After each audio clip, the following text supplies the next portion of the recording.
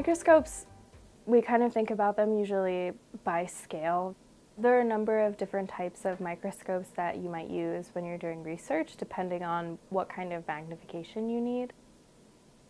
The ones that you see usually in the classroom are your standard compound microscope, which means there's a lens and there are mirrors inside which reflect the light into another lens, which allows you to have greater magnification. I use an inverted compound microscope a lot, and so I couldn't fit an entire flask on a standard compound microscope, so they've created an inverted compound microscope where the light source is on the top, and then the lenses that I rotate are actually on the bottom. EVOS is really helpful because it is highly powered. So as you can see, there's a very large lens on it compared to some of the other microscopes you look at. So you can look very closely at things.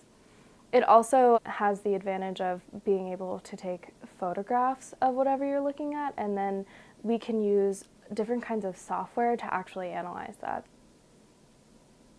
Something that's really cool that we have now, there are certain microscope technologies. So we've looked at the Countess, which actually expands an image and will count the numbers of cells in it.